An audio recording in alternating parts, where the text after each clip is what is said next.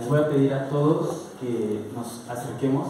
Eh, la exposición Universos Sonoros eh, tiene en principio compartir, compartir a través de, de tocar y de escuchar.